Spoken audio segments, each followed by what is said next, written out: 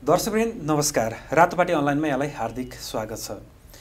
आज हामी मोरङ क्षेत्र नम्बर चारबाट निर्वाचित हुनुभएका एकीकृत माओवादी केन्द्रका सांसद अमनलाल मोदीसँग समसामयिक विषयमा कुराकानी गर्दैछौँ। उहाँ माओवादी केन्द्रको केन्द्रीय सदस्य पनि हुनुहुन्छ। साथै तिन पटक मोरङबाट निर्वाचित भएर उहाँले ह्याट्रिक पनि गर्नुभएको छ। माओवादी केन्द्रका एकजना प्रभावशाली युवा नेतृत्वको रूपमा रहनुभएका अमनलाल मोदीसँग हामी अबको संसदीय यात्रा उहाँका आगामी कामहरू लगायत विभिन्न विषयमा कुराकानी गर्दैछौँ। यहाँलाई रातोपाटीमा स्वागत छ। धन्यवाद। तपाईँले तिन पटक संसद जित्नुभयो मोरङबाट। तिनचोटि प्रतिनिधित्व गरेको। प्रतिनिधित्व गर्नुभयो। दुईचोटि चाहिँ प्रत्यक्ष जित्नुभयो। एकपटक समानुपातिक। तेस्रो पटक फेरि संसदको यात्रा गर्दा कस्तो अनुभूति भइरहेछ? होइन? प्रत्येकपल्ट चाहिँ संसदीय यात्रामा आउने क्रममा चाहिँ फरक फरक तरिकाले नै हेरिराखेको छु। पहिलोचोटि म संविधान सभा सदस्य आउँदा त्यतिखेर भर्खरको चाहिँ युवा थिएँ। अझै भन्दा योङ हुन्छ नि। त्यतिखेर त्यो यात्रामा थिएँ। त्यो यात्रामा आउँदाखेरि त्यतिखेरको एउटा फरक थियो। त्यतिखेर मेरो एउटा मुद्दा थियो। जतिखेर यो देशमा चाहिँ उत्पीडित जातिहरू उत्पीडित वर्गहरू उत्पीडित समुदायहरू किसान मजदुरहरू र विभिन्न जात जाति थारू मधेसी दलित मुस्लिम आदिवासी जनजाति महिला अझै उत्पीडित परेका खसारे साथीहरूको बारेमा चाहिँ जो वर्षौँदेखि अन्याय परेका थिए ती अन्याय परेका मान्छेहरूलाई संविधानमा न्याय दिनुपर्छ भनेर त्यो एजेन्डा थियो त्यो संविधान सभामा मेरो थियो। त्यतिखेर नयाँ नै थियो। दोस्रो फेरि कार्यकाल जब फेरि विराटनगर जस्तो ठाउँबाट जितेर आएँ या जिताउनु भयो त्यहाँका जनताहरूले दोस्रो कार्यकाल मेरो जनताकै पक्षमा चाहिँ कसरी विकास गर्ने? मेरो निर्वाचन क्षेत्रमा त्यहाँको चाहिँ विकास समग्र विकास चाहिँ जनतासँग देखिएका समस्याहरूलाई कसरी चाहिँ संसदमा चाहिँ पुर्याउने भन्ने नै थियो। त्यतिखेर पनि नयाँ नै थियो। यो पल्टको यात्रा अझै नयाँ देखिरहेको छु। जतिपल्ट आउँछु त्यतिपल्ट नयाँ देख्छु। किनभने पहिलेका संसद र पहिलेको संविधानसम्ममा चाहिँ एकै खालको मान्छे थियौँ। अहिले नयाँ नयाँ पात्रहरू नयाँ नयाँ प्रवृत्तिहरू नयाँ नयाँ किसिमको चाहिँ सांसद साथीहरू आउनु भएको छ। उहाँहरूसँग सहयात्रा छैन। पक्कै पनि एउटा पेचिलो या नयाँ तरिकाले चाहिँ नयाँ नै जस्तो देखिन्छु म चाहिँ। चुनाव लड्न कतिको गाह्रो रहेछ? तपाईँ दुई दोस्रो पटक पनि फेरि प्रत्यक्ष निर्वाचित हुनुभयो। यो खर्चको हिसाबले अन्य राजनैतिक हिसाबले कतिको जटिल बन्दै पहिलो कुरा चाहिँ माओवादी पार्टी एउटा चाहिँ कुनै समयमा चाहिँ जनयुद्धबाट आएको पार्टी हो। जनताले अपार मायाको साथमा चाहिँ तपाईँलाई चाहिँ विश्वास गरेर धेरै मत दिएको पार्टी हो चौसठी सालमा। तर हाम्रै कालखण्डमा कयौँ कुराहरू गर्न नसकिसकेपछि अलिकति जनताहरू चाहिँ हामीप्रति जो एउटा आशा थियो त्यो निराशामा बदल्यो। निराशामा बदलिसकेपछि यसलाई चाहिँ मतमा फेरि पनि चाहिँ तपाईँलाई चाहिँ कन्भर्ट गर्नु दिनु धेरै चुनौती धेरै अप्ठ्यारो। पैसाले पनि हुँदैन। मन जित्ने कुरा हो। तपाईँलाई चाहिँ उभार त्यसपछि संरचना त्यसपछि त्यसको चाहिँ स्वरूप माओवादी पार्टीप्रति एकदम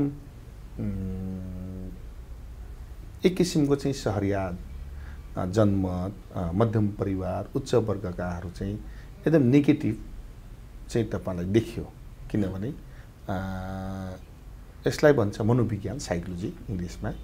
त्यो मनोविज्ञान किन भयो भने जति संरचनाहरू छन् राज्यको संरचना भन्छन् या चाहिँ सामाजिक संरचना भन्छन् सामुदायिक संरचना भन्छ सबै एमाले काङ्ग्रेसको होल्डमा छ चाहे टोल सङ्गठन समिति होस् चाहे सहकारी होस् चाहे वन समिति होस् चाहे स्कुल व्यवस्थापन समिति होस् चाहे निजामतीतिर होस् चाहे उद्योगपतितिर होस् या बोर्डिङका मालिक होस् चाहे स्वास्थ्यका चाहिँ निजी कम्पनीको होस् अर्थात् एज होल टोटल रूपमा एनजिओ आइएनजिओ सबै कुराको त्यो सामुदायिक संरचना यहाँ चाहिँ राज्यको संरचनाहरू नेपाली काङ्ग्रेस या एमालेसँग छ। त्यो बिचमा पनि हामी चुनाव लड्नुपर्ने। हाम्रो कुनै संरचना छैन।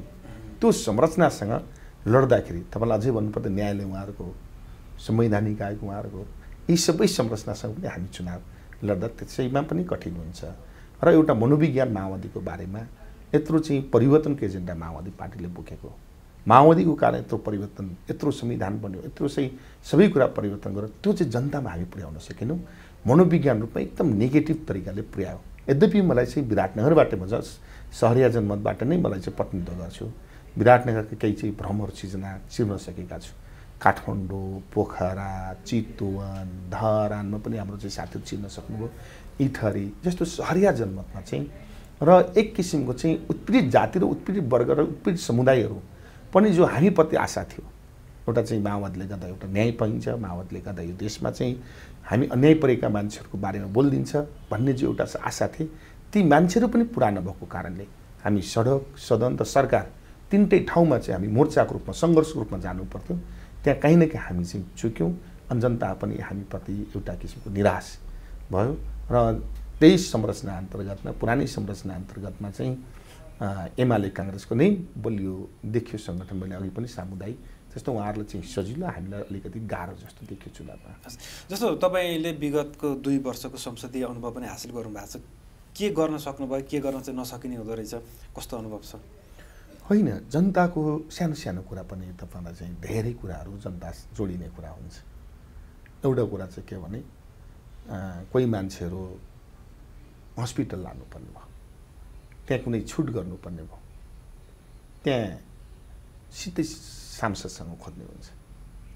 केही मान्छे अन् अन्याय पऱ्यो प्रहरी चौकी या थानामा या जिल्ला प्रहरी कार्यालयमा सांसद नै खोज्ने हुन्छ।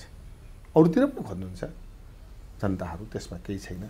तर यी सबै सानो सानो कुरा पनि जनतासँग चाहिँ जोडिने कुरामा एउटा चाहिँ कति जोड्न सक्यौँ सकेनौँ सकेसम्म हामी त्यो प्रयत्न गर्छौँ। र दुई वर्ष जो एउटा चाहिँ घटनाक्रमले एउटा परिस्थिति बन्यो त्यो परिस्थितिले गर्दाखेरि हामी कोरोना काल त्यसपछि विभिन्न काल महामारी अनि यावत कुराले पनि जनतामा जुन पछिल्लो दुई वर्ष काम गर्नु पर्यो त्यो चाहिँ गर्न सकेनौँ। राम्रो तरिकाले गर्न सकेनौँ तपाईँ अब खास गरी मधेस क्षेत्र र त्यस त्यसै गरी थारू क्लस्टरबाट पनि प्रत्यक्ष निर्वाचित सांसद तपाईँ एकजना हुनुहुन्छ माओवादी केन्द्रमा। के छ पार्टीमा तपाईँको भूमिका के छ? तपाईँको भूमिकालाई पार्टीले कसरी मूल्याङ्कन गरिरहेछ? अब पार्टीले राम्रै सोचिराख्नु भएको त मलाई चाहिँ पटक पटक सांसद बनाइराख्नु भएको छ। पटक पटक उम्मेदवार बनाइराख्नु भएको छ। म जस्तो धेरै साथीहरू माओवादी मभन्दा धेरै सिनियर आदरणीय कमरेडहरू हुनुहुन्छ। आदरणीय सँगै हिँडेका जनयुद्धमा चाहिँ हाम्रो नेतृत्व गर्ने कमरेड हुन्छ कमान्डर हुन्छ आज पनि तपाईँलाई चाहिँ समाजमा उहाँहरू केही पाउनु भएको छ। हाम्रै पार्टीमा पनि मभन्दा धेरै सिनियर साथीहरू अझै पनि तपाईँलाई कुनै जिम्मेवारी राम्रो तरिकाले पाउनु भएको छ राजकीय पाउनु भएको छैन। यद्यपि मलाई दिइराख्नु भएको छ भन्दा पार्टीले नमूल्याङ्कन गरेको होइन? तपाईँले भन्न खोज्नु के भएको मलाई थाहा छैन। त्यसमध्येमा तपाईँले चाहिँ जिम्मेवार भनेको मन्त्री होला तपाईँले भने जस्तै के के भन्नु तपाईँको अघिल्लो कार्यकालमै यो त चर्चा चलाएको थियो नि तपाईँ चाहिँ मन्त्रीको दावेदार हुनुहुन्छ। कुनै एउटा मन्त्रालय त तपाईँले लिने भन्ने कुरा त अघिल्लो कार्यकालमा चलाएको थियो। के छ अब यो कार्यकालमा यसबारे केही कुरा भएको छ पार्टीमा? होइन। जो सांसद आउँछन् जो सांसद आउँछन् स्वाभाविक रूपमा सबैजना चाहिँ मन्त्री हुन्छु भनेर लाग्छन्। त्यसमध्येमा बनाउने नबनाउने पार्टीको कुरा हो। के छ पार्टीमा त छलफल भएको होला अध्यक्षसँग केही कुरा पार्टीले नेताहरू चिनिहाल्नुहुन्छ मलाई। र मेरो अहिले मिसन छ। चाहे सरकारमा होस् चाहे संसदमा होस् या सांसद भएर काम गरौँ यो पल्ट माओवादी पार्टीको जो हाम्रो पार्टीको सदस्य अध्यक्ष कमरेड प्रचण्ड हुनुहुन्छ जो प्रधानमन्त्री हुनुभयो सम्मानित प्रधानमन्त्री उहाँलाई कसरी सफल पार्ने र माओवादी आन्दोलनलाई कसरी चाहिँ एउटा उठान गर्ने भनेर मेरो त्यो चाहिँ सहयोगीको भूमिका खेल्न सक्छु म। त्यो सहयोगीको भूमिका खेलौँ भनेर मेरो चाहिँ एउटा सङ्कल्प छ। तपाईँ अब खास गरी थारू समुदायबाट तपाईँ एकमात्र प्रत्यक्ष निर्वाचित सांसद त्यसमाथि युवा नेता पनि भएको हुनाले पार्टीको सद्भाव त होला नै तपाईँ माथि पक्कै पनि अब यसो हेर्दै गर्दा तपाईँले चाहिँ पक्कै पनि त्यो चाहिँ जस्तो लाग्छ तपाईँले भनेकै कुरा। र यो कुरा मैले भन्नुभन्दा पनि पार्टी नेतृत्वले सोचिराख्नु भएको होला। किनभने पार्टीको नेतृत्वले नै सबै कुरा निर्धारण गर्छ। म फेरि पनि भन्दैछु तपाईँलाई एउटा अहिले सङ्कट छ माओवादीको आन्दोलनको बारेमा। माओवादीको बारेमा चाहिँ जुन तरिकाले एउटा भ्रमको खेती परिदा भएको छ जो समाजमा सिर्जना भएको छ त्यसलाई पनि हामी कसरी सफलतामा पुर्याउने? हाम्रो पार्टीको अध्यक्ष सहयोग अध्यक्ष प्रधानमन्त्री नेतृत्व नै तपाईँले प्रधानमन्त्री उहाँलाई कसरी सफलतामा पुर्याउने? चाहे सरकारमा बसेर होस् चाहे संसदको भूमिकामा होस्। चाहे माओवादी आन्दोलन नेतृत्वलाई कसरी स्थापित गर्ने जो एउटा सुनौलो अवसर आएको छ हामीमा। त्यो सुनौलो अवसरलाई जनतासँग जोडिने कुरा हरेक मुद्दा। चाहे विकासको कुरा होस् चाहे समृद्धिको कुरा होस् चाहे जनजीविकाको कुरा होस् चाहे न्यायको कुरा होस् चाहे जनताले उठाउने विषयहरू त सबै कुरामा सफलता कसरी दिलाउने माओवादीको जो एउटा साग गिरिराखेको छ। साग गिरेको छ। अठार सिट एक सय बिस सिटबाट अठार सिट झरेको छ। अस्ति सैँतिस सिटबाट अठार सिट झरेका छौँ। त्यो सागलाई गिराएर कसरी पुनर्जागरण कसरी एउटा चाहिँ माओवादी आन्दोलन पुनर्जागरण गर्ने? र यो देशमा चाहिँ माओवादी पार्टीप्रति पुरै वाइ वाइ कसरी गर्ने? वास्तव माओवादी पार्टीकै व्यवस्था हो। माओवादीले गर्दाखेरि यो व्यवस्था ल्याएको हो। माओवादीले गर्दाखेरि यो चाहिँ परिवर्तनको एजेन्डा बोकेको आज मजदुरले पनि माओवादीको कारण न्याय पाएका छन्। किसानले पनि कयौँ कुराहरू प्राप्त गर्छ कयौँ बाँकी छन्। अझै पनि पाएका छैनन्। अझै भन्दा महिलाहरूले पाउनु भएको छ। अझै भन्नुपर्दा विभिन्न जात जातिले अधिकार पाएका छन्। तर यी कुराहरूलाई संस्थागत गरेर हामी यो नेपालमा माओवादीले गरेका परिवर्तनहरूको एजेन्डाहरू त्यो स्थापित गर्नको निम्ति एउटा सुनौलो अवसर मैले अघि पनि भने त्यो एउटा पुनर्जागरण ताकि सुदूर भविष्यमा माओवादी पार्टीको एउटा देशमा ठुलो पार्टी बनाउने त्यो अभिवारा हाम्रो पुस्तामा छ। अहिले तपाईँहरूको पार्टीमा युवा पुस्तालाई चाहिँ नेतृत्वमा अगाडि बढाउनु पऱ्यो भन्ने खालको पनि पछिल्लो समय त्यो चर्चामा पनि आइरहेछ। फेरि माओवादी पार्टीभित्र चाहिँ अब सरकारको नेतृत्व गर्न चाहिँ एउटा समूह छ जो चाहिँ पटक पटक चाहिँ मन्त्री बन्ने लाइनमा लागिरहेकै हुन्छ। त्यो पुस्ताप्रति तपाईँको धारणा के छ? के भन्नुहुन्छ?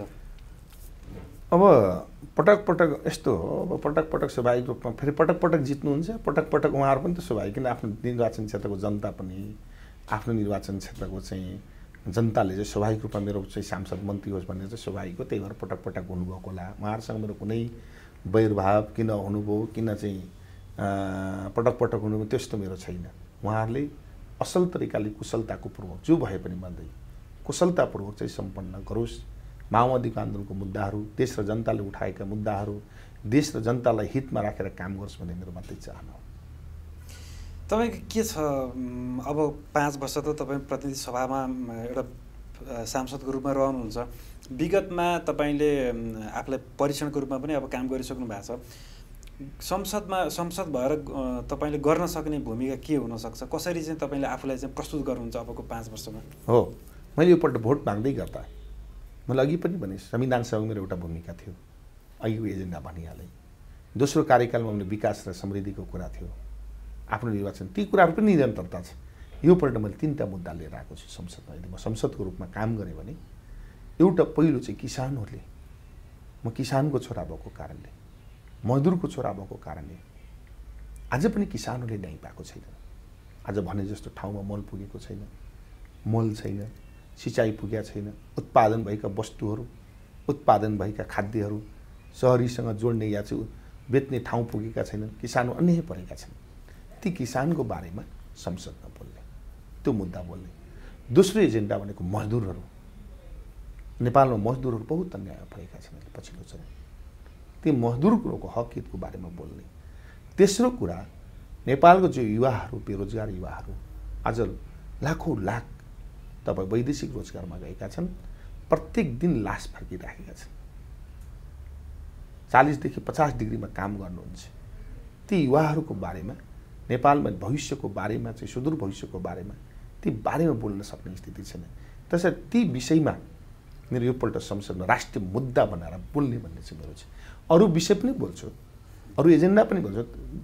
जनजीविकाको कुरा होला विकासको कुरा त मेरो निरन्तरतै छ योपल्ट म संसदमा चाहिँ यी तिनवटा विषयवस्तु चाहिँ उठाउने र महत्त्वपूर्ण कुरा चाहिँ माओवादी पार्टीका सांसदहरूले पनि देश र जनताको हितमा काम गर्न सक्छ देश र जनताको हितको बारेमा संसदमा बोल्न सक्छ। चाहे राष्ट्रियताको कुरा होस् चाहे जनजीविकाको कुरा होस् चाहे माओवादी पार्टीले गरेको उत्पत्तिको कुरा होस् चाहे बाँकी रहेका कुराहरू होस्। यी कुरा चाहिँ संसदमा चाहिँ सशक्त बनाउने भन्ने नै मेरो सोच छ। हजुर। संसदीय राजनीतिमा माओवादी केन्द्र चाहिँ बिस्तारै चाहिँ कमजोर बन्दै गइरहेको छ। पछिल्लो समयमा चाहिँ अब युवा पुस्ताले चाहिँ अलिकति हस्तक्षेप गर्नुपर्छ भन्ने खालको पार्टीमा आवाज उठेको छ। त्यो के अहिले सम्भव छ? युवा पुस्ताले चाहिँ हस्तक्षेप गरेर पार्टीलाई अलि अगाडि बढाउन सक्ने त्यो अवस्था देखाउने स्वाभाविक रूपमा अघिल्लो पुस्ताले गर्न सक्यो भने त नयाँ पुस्ता त आइहाल्छ नि। नयाँ पुस्ता साथीहरू चाहिँ अब आउनै पर्ने स्थिति देखा परेको छ फेरि। त्यसमा चाहिँ तर यसको अर्थ चाहिँ नेतृत्वलाई विस्थापन गरेर होइन। हाम्रो पार्टीको सदस्य अध्यक्षलाई सम्मान गरेर हो। नेताहरूलाई सम्मान नै गरेर हो।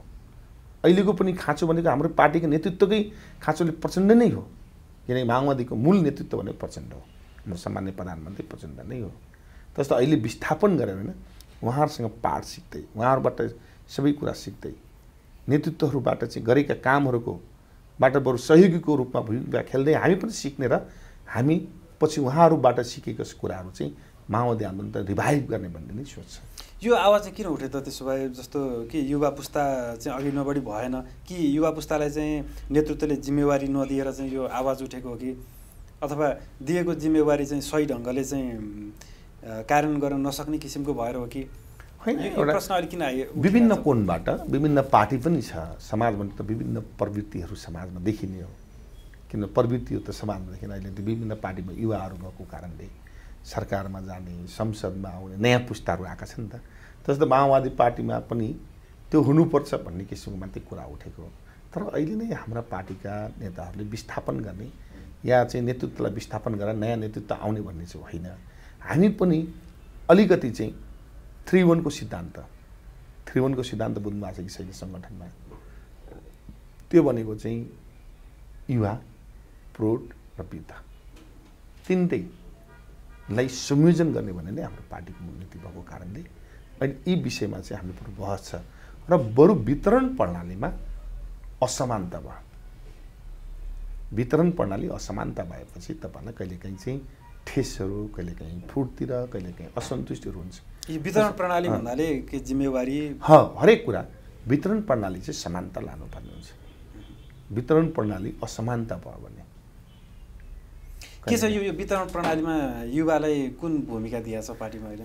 अहिले वितरण प्रणाली भनेको तपाईँले मात्रै चाहिँ नेतृत्वमा ल्याउने भन्ने होइन। हरेक काहीँ गाउँपालिकामा कहिलेकाहीँ मेयर उठाउनु पर्ने वडा अध्यक्षमा उठाउनु पर्ने वा प्रदेश सांसदमा उठाउनु पर्ने वा केन्द्रीय सांसदमा उठाउनु पर्ने वा अनि चाहिँ संवैधानिक निकायको सदस्यहरू पठाउनु पर्ने वा राजदूत बनाउने कुरा हो। या हरेक कुरामा चाहिँ पार्टीभित्र चाहिँ एकपल्ट अवसर नपाएका व्यक्तिहरू हुन्छ जहाँ फिट हुन्छ। फेरि यसको अर्थ चाहिँ सांसदै जिताइहाल्ने किनभने सांसद जो जित्न सक्छ त्यसैलाई उठाउने हो। जनप्रतिनिधिमा जो जित्न सक्छ उसैलाई उठाउने हो। दिनको निम्ति दिने होइन तर अन्य जिम्मेवारी संवैधानिक निकाय होला राजदूत बनाउने होला अन्य अन्य नियुक्तिको कुरा होला पार्टीमा जिम्मेवारी दिने कुरा होला जसको क्षमता जेमा छ त्यो भूमिका दिने कुरा होला ती चाहिँ समानता नै हुनुपर्छ भन्ने मेरो हो। वितरण प्रणालीमा समानता नै हुनुपर्छ। हजुर।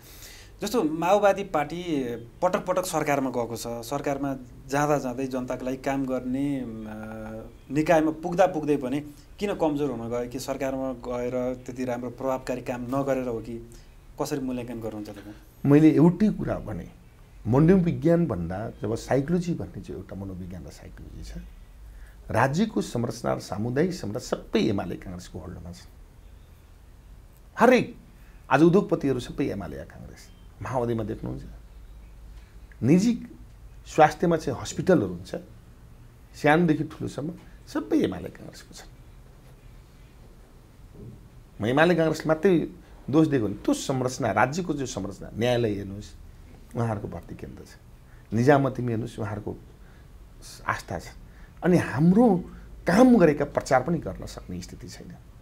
जस्तो एकछिन लागि उदाहरण दिउँ। एमाले चाहिँ नौ महिना कार्यकालमा एकाउन्न सालतिरको कुरामा चाहिँ एउटा वृद्ध भत्ता एक सयबाट सुरुवात गरे। आज त्यही बजार पनि अहिले पनि पार्टी चलाइरहेछ। तर त्यही माओवादी पार्टीले हाम्रै कार्यकालमा राष्ट्रिय गौरवको योजना सबभन्दा माओवादीले धेरै ल्याए। लोड सेडिङ मुक्त गराएकोले त माओवादीले गराए। किसानको तपाईँलाई चाहिँ पेन्सनको कुरा माओवादीले उठाइरहेका छन्। यद्यपि भएन। मजदुरदेखि लिएर कार्यालय सहयोगी एकैपल्ट हाकिमसम्मको त्यतिखेर चाहिँ एकैपल्ट बराबर चाहिँ तलब बढाइदियो हामी जहाँबाट जन्म्यौँ हाम्रा आमाहरू जन्माउने बेलामा पहिला हस्पिटलमा पैसा लाग्थ्यो। माओवादीकै कारणले तपाईँलाई थाहा छ होला अहिले पनि सुत्केरी भत्ता दिने अथवा सुत्केरी भत्ता भन्नाले सुत्केरी प्राप्त गरेको हस्पिटल उल्टै पाँच सयदेखि हजार पैसा दिन्छ स्वास्थ्य मन्त्रालयको जिम्मेवारी हो। पैँतिसवटा औषधि त फ्री गरिदिएका थिए माओवादीको पालामा। अझै त अलिकति धेरै पुगेका छन्। कृषिलाई चाहिँ कृषि ऋण बिना गर्थे। माओवादीका कामहरू धेरै गरेका छन् तर हामी प्रचार गर्ने किनकि हाम्रो प्रचार गरिदिने त एमाले काङ्ग्रेसको होइन। सबै बनोट मन्दिरको अध्यक्ष उहाँहरूको छ। टोल समिति उहाँको छ। बाटोघाटोको समितिको उहाँको छ। स्कुलको चाहिँ मास्टर उहाँहरूको छ। भन्दा हाम्रा प्रचारक कम भयो। त्यो मनोविज्ञान नै चिन्न सकेनौँ। त्यही भएर हामीलाई हेर्ने दृष्टिकोण नेगेटिभ बनाइदिए। नभए माओवादी जति यत्रो परिवर्तनको एजेन्डा बोक्ने यदि यही एमाले काङ्ग्रेस यति परिवर्तन गर्दा बाप रे बाप प्रचारक यति बन्थ्यो तर त्यो भएन। मिडियाहरू हाउस मिडियाहरू हामीसँग नजिक छैन। कर्पोरेट दुनियाँमा आज हामीसँग छैन। हरेक एजु होल टोटल चाहिँ तपाईँ निर्माण व्यवसाय हेर्न सक्नुहुन्छ माओवादीसँग कति छ? आज सबै तलसम्म संरचना उहाँहरूको छ। अनि हाम्रो प्रचार गर्छ माओवादीको बारेमा। तपाईँलाई लाग्छ माओवादीको प्रचार गर्ने कुरा त भएन। त्यस्तो माओवादीको प्रचार नभएको कारणले बरु ती मान्छेहरू चाहिँ उल्टै माओवादी त खत्तम गरौँ मान्छे त मरुवा हो हत्यारा हो या हो त्यहाँ हो भनिदिन्छन्। त्यो कुरा प्रचार गर्दैनन् कि माओवादीको कारणले आज परिवर्तन भयो। दलितहरू चाहिँ भित्र पस्न पाउँदैनथे घरभित्र पस्न पाउँदैन बरु कुकुर पस्न दिन्थ्यो। आज त्यो मुक्त गराउने माओवादी हो। आदिवासी जनजाति थारू मधेसीहरू राज्यबाट कहिले न्याय पाउँदैन थियो? आज संविधानले ग्रान्टेड गरौँ कि माओवादी कारणले आज संविधानमा कुरा महिलाहरूले मान्छे गर्ने थिए। आज तेत्तिस पर्सेन्ट महिला राज्यमा निकाल्नु पर्यो सामान्य कुरा हो। माओवादीको एजेन्डा आज राष्ट्रपति महिला हो। सभामुख महिला भयो तर त्यो प्रचार गरिदिने कोही भएन। अब म प्रचार गरेर माओवादी कार्यकर्ता आफ्नो कुरा त गरिहाल्छ नि। अब तपाईँकै टेलिभिजनमा हेर्दैछौँ रातो पार्टीमा अहिले कमेन्टरमा माओवादीको फेरि गाली दिन सुरु गर्छन्। अब उहाँ साइबर सबै चलाउने उहाँहरूको छ। के गर्नुहुन्छ? अनलाइन उहाँहरूको? यो तपाईँहरूको पनि त कमजोरी होला नि त यसमा त। हामी सङ्ख्या कम भयौँ। हामी त भर्खर संरचना बन्यौँ। चौसठी सालदेखि चुनाव लड्यौँ। उहाँहरू त तपाईँलाई चाहिँ सत्र सालदेखि पन्ध्र सालदेखि चुनाव लडेका पार्टी हो। अडचालिस सालदेखि लडेको पार्टी हो। हामी कहिलेदेखि लड्यौँ नि। हामी लड्यौँ जनयुद्धमा लाग्यौँ त्यस्तो हाम्रो संरचना बाँकी छ। तर मलाई विश्वास छ माओवादी पार्टी एक्लै बलले उठेको भए। काहीँ ठाउँ हार्ला काहीँ ठाउँ जित्ला। विभिन्न अन्तर्बला समानुपातित भोट पर्थ्यो तिन सय तिस ठाउँ प्रदेशमा एक सय पैँसठी निर्वाचन क्षेत्र दस हजार इन्टु गर्दा सोह्र सत्र लाख हुन्छ। जहाँ उठेका छन् त्यही प्रभाव पर्छ नि। तसर्थ माओवादी पार्टीले पुरै आफ्नो बल सङ्गठन बनाउनु निम्ति पुरै चाहिँ तपाईँ लाग्नु हामी बल्ल बल्ल चौवालिस ठाउँ कि बयालिस ठाउँ उठ्छौँ अनि त्यसमध्येमा पनि तेह्र लाख तपाईँलाई चाहिँ समानुपातित भोट ल्याउनु त कम भएन। किनभने समुद्रमा सङ्घर्ष कोही फ्याम हाम फाल्ने बाँच्न चाहन्छ। सङ्घर्ष गर्न चाहन्छ। त्यो सङ्घर्ष के भने माओवादी एक सय पैँसठी निर्वाचन क्षेत्र र तिन सय तिसमा उठेको भए त ए सके नसके खर्च गर्थ्यो के गर्थ्यो कसो गर्थ्यो जित्नुपर्छ भन्ने भोट बढ्थ्यो। सङ्गठन बन्थ्यो। त्यो हामी कहिले गरेनौँ। त्यसमा हामी अबको पुस्ताहरू फेरि। तपाईँलाई अघि अब भन्नु हाम्रो पुस्ता चाहिँ एक्लै रिभाइभ गर्ने। माओवादीको एजेन्डालाई स्थापित जनतामा जाने। जनतामा हामीबाट रहेका सीमा कमजोरहरू सच्याउने। हामीबाट जो कमिटमेन्ट थियो जनताको बिचमा हिजो हामीले गरेका जनयुद्धको एउटा चाहिँ जो एजेन्डाहरू थिए ती कयौँ एजेन्डाहरू छोडेका छ त्यो एजेन्डालाई स्थापित गर्ने राम्रा काम गरेका स्थापित गर्ने र नराम्रा काम गरेका आफै रिलाइज गर्ने। हामीबाट मान्छे त हो हामीबाट पनि कमजोरी हुन्छ नि। माओवादी भने कुनै फ्याक्ट्रीबाट आएको होइन त्यो उत्पादन माओवादी माओवादी कुनै अन्तरिक्षबाट आएको होइन। हामी पनि मान्छे हौँ। हामीलाई पनि चिसो र तातो लाग्छ। हामीलाई पनि हावा लाग्छ। के लाग्छ? यही समाजको उत्पादन भनेर रिलाइज गरेर जाने हो। अब हामी कुराकानीको फेरि अन्तिमतिर आयौँ फेरि मैले अघिकै कुरा अलिकति रिपिट गर्न खोजेँ। तपाईँ सरकारमा जाने जुन चर्चा चलिरहेछ तपाईँले चाहिँ आफूले कुन मन्त्रालय यदि भयो भनेदेखि म चाहिँ यो गर्न सक्छु भने केही सोचाइ बनाउनु भएको छ? हामी त विकास नै चाहन्छौँ। तराईमा विराटनगर जस्तो ठाउँबाट चाहिँ तपाईँलाई जितेको कारणले यहाँ जनताले जिताउनु ठुलो अपेक्षा छ विकास। मेचीदेखि महाकाल मधेसका मान्छे भएको कारणले। हाम्रो चाहना विकास नै हुन्छ। र हाम्रो जनताको अहिले चाहना भनेको विकास हो। त्यो विकास गर्न पाएँ भने विकासको चाहिँ मोडलहरूलाई नयाँ तरिकाले चाहिँ बनाउन पाएँ भने जनतामा एउटा अनुभूति दिन पाएँ भने देशैभरि एउटा मेरो आफ्नै निर्वाचन क्षेत्र विराटनगरमाथि कल्पना गरेको छैन। देशभरि कि वास्तवमा एउटा युवा साथीहरू गयो भने किनभने मलाई सफल पार्नु छ हाम्रो पार्टीको अध्यक्षलाई सफल पार्नु छ यदि गयो भने। मेरो एउटै ध्येय अर्जुन दृष्टि नै मात्रै म सफल हुने होइन। किन नेतृत्व सफल बन्ने म पनि त्यसै सफल भएँ। त्यस्ता मेरो एउटै अर्जुन दृष्टि छ नेतृत्वलाई सफल पार्ने। माओवादी पार्टीलाई आन्दोलनबाट जो थियो त्यो उठान गर्ने। जुनसुकै मूल्यमा पनि पार्टीको नेतृत्वलाई सफल पार्ने भन्ने मेरो ध्येय छ। तर मन्त्रीमा गइसके पछाडि जुन अगाडि जुन एउटा सपना देखिन्छ जुन सपना देखाइन्छ जुन भनिन्छ त्यसलाई चाहिँ भुल्ने अनि बढी चाहिँ सभा समारोहहरूमै भुल्ने रमाउने त्यो खालको एउटा प्रवृत्ति पनि छ। हो त्यही तपाईँले आज कमेन्ट गर्नुभयो नि त। यो पनि त कमेन्ट हो। तपाईँले आज मलाई त्यही प्रश्न गर्नुभयो त्यही कमेन्ट गर्नु। स्वाभाविक रूपमा चाहिँ मन्त्री भइसकेपछि जनचाहनाहरू चाहिँ तपाईँलाई अलिक बढी हुन्छ। आइदियोस् आ फलानु आइदियोस् फलानु ठाउँ आइदियोस् त्यस्तो हुन्छ। तर पनि आफ्नो नीति निर्माणको तहमा या कार्यान्वयनको कुरामा चुक्ने बाह्र बजी राति भए पनि काम गर्नुपर्छ जनताको तपाईँ त्यसमा चाहिँ दृढ हुनुहुन्छ काम गर्ने कुरामा? ढिड छु नि। लाग्दैन तपाईँलाई? म संसदमा हेर्नुभयो म संसदमा बोल्ने कुरा समितिमा बोल्ने त्यस्तो लाग्दैन र। तपाईँलाई मैले सोधेँ मलाई जब तपाईँ आठ दस वर्ष भइसक्यो चिनेको तपाईँलाई कस्तो लाग्छ गर्छु कि जस्तो लाग्छ? लाग्दैन।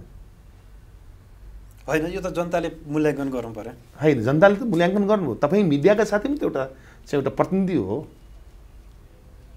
हामी सांसदहरू कस्तो भूमिका खेल्छौँ? तपाईँहरू जज गरिदिनु के गर्नुहुन्छ? भन्नुहोस् त तपाईँले गर्नुहोस्।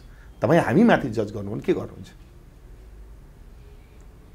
के छ पार्टीले चाहिँ युवा पुस्तालाई अगाडि बढाउने कुरामा अलिकति कन्जुसाइ गर्छ जस्तो देखिन्छ नि तपाईँको पार्टीमा पनि। अघिल्लो पटकको सरकार मलाई लाग्दैन अब त्यस्तो गर्नुहुन्छ पार्टीले। अब चाहिँ त्यस्तो गर्नुहुन्छ जस्तो लाग्दैन। नेतृत्वको विकास भनेको युवा पुस्ता हो। मैले अघि पनि व्याख्या त्यस्तो यसको अर्थ फेरि नेतृत्वलाई विस्थापन गर्न विकास गर्ने कुरामा। किनभने हामीले सिकाउनु परेन। कहिले सिक्ने नि त? अनि नै नेतृत्व चाहिँ विकास हुन्छ देश हाँक्छन् राष्ट्र हाँक्छन्। भोलि मानिलौँ। देशको प्रधानमन्त्री बन्नुपर्ने माओवादी पार्टीबाट। हाम्रो चाहिँ श्रद्धा अध्यक्ष धेरै बुढो हुनुहोला। हाम्रा नेताहरू चाहिँ बुढो हुनुहोला। नेतृत्व विकास त्यसै गर्नु पऱ्यो नि कहिले कहिले माओवादी छँदैन नि माओवादी त एकपल्ट फेरि उभार भएर आउँछ। हेर्दै जानुलाई। पुरै उभार भएर आउँछ एकपल्ट। किन सबै पार्टीलाई देखिसकेको हुन्छ। एमाले काङ्ग्रेस देखिसक्यो एकपल्ट फेरि पनि जसको विचार उसैको नेतृत्व भन्ने आउँछ। माओवादीको यो व्यवस्था हो। एकपल्ट दिउँ माओवादीले। अहिले नै भनिसके त बजारमा। जति माओवादीले हराउन खोज्नु हार्दो रहन्छ। बरु यही नेता चाहिँ माओवादीका अध्यक्ष प्रचण्ड हुँदो रहेछन्। अब माओवादीतिर जाउँ सबै धेरै मान्छेले भनिसके। जति गर्दा पनि पेल्दा पनि सबै लाग्दा पनि हराउन सकिँदो रहेछ। अगाडिबाट छुरा आन्दा पनि उनीहरू सरकार पछाडिबाट उनीहरू त्यही पनि आइहाल्छन्। जति लाग्दा पनि आउँदो रहेछन् अब यिनीहरूतिरै लाग्नुपर्छ। अब सहरिया जनमत पनि माओवादीतिर आकर्षण हुन थालिसके अब नहुँदो रहेछ माओवादीसँगै सकेको किनभने सत्ता त सबैलाई चाहिन्छ। माओवादी अब अहिले हिसाब गर्दाखेरि तेस्रो पटक सरकारको नेतृत्व गर्दैछ। विगतमा दुई पटक पनि नेतृत्व गरे चौथो पटक। चौथो पटकै नेतृत्व गर्दैछ। तर विगतमा जसरी काम गर्न सकेन अहिले फेरि नेतृत्व पाएको छ सरकारले कसरी काम गर्नु पर्ला के गर्नु पर्ला के देख्नुहुन्छ तपाईँ? हो अघिदेखि मैले एउटै कुरा भनिरहेको छु तपाईँलाई। मेरो ध्येय भनेको मेरो अर्जुन दृष्टि म दायाँ बायाँ माओवादी आन्दोलनलाई जो एउटा चाहिँ साग गिरिरहेको थियो त्यसलाई उठान गर्ने र हाम्रो नेतृत्व जो एउटा नेतृत्व गरिराख्नु भएको छ पार्टीको अध्यक्ष नै सरकारको नेतृत्व उहाँलाई कसरी सफल पार्ने पुराना कुरा सबै पुराना कुराहरूलाई एउटा मौका छ हामीलाई असल सफल पार्ने सफलताको इतिहासको सफलता पार्ने एउटा हाम्रो दायित्व छ। मेरा तर्फबाट या मेरो तर्फबाट त्यो दायित्व पुरा गर्छु र योपल्ट माओवादीका सबै नेता कार्यकर्ता जनता पनि योपल्ट माओवादीको नेताले कसरी सफल पार्ने नेतृत्वलाई सफल पार्ने भने सबैको आम धारणा छ। हस् यहाँको यो महत्त्वपूर्ण समयको लागि धेरै धेरै धन्यवाद। मलाई पनि मेरा विचार राख्न दिनुभयो। रातो पार्टी का टिम या प्राविधिक सबै साथीलाई विशेष धन्यवाद दिन चाहन्छु तपाईँसँग हस् धन्यवाद। दर्शकवृन्द आज हामीले कुरा गऱ्यौँ मोरङ क्षेत्र नम्बर चारबाट निर्वाचित हुनुभएका माओवादी केन्द्रका एकजना प्रभावशाली युवा सांसद अमनलाल मोदीसँग। अर्को प्रस्तुतिमा हामी फेरि उपस्थित हुनेछौँ। अहिलेका लागि भने बिदा दिनुहोस्। नमस्कार.